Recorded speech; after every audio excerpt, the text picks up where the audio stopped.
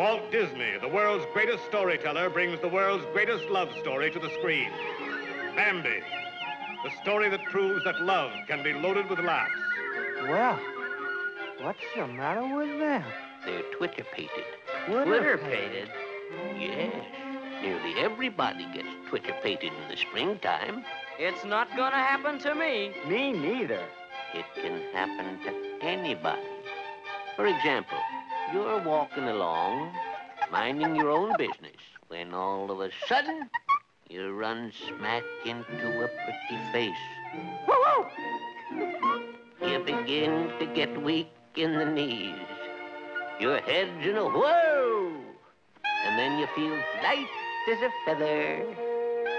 And then you know what? You're knocked for a loop. And you completely lose your head.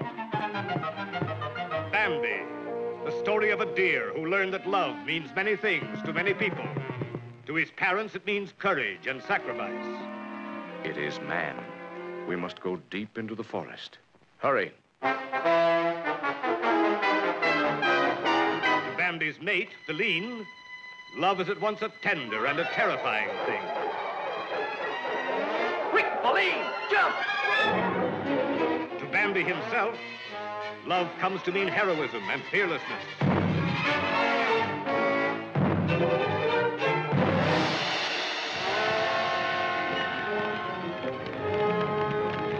Here, surging out of the roaring forest, is the most powerful, gripping, romantic story ever brought to the screen by Walt Disney.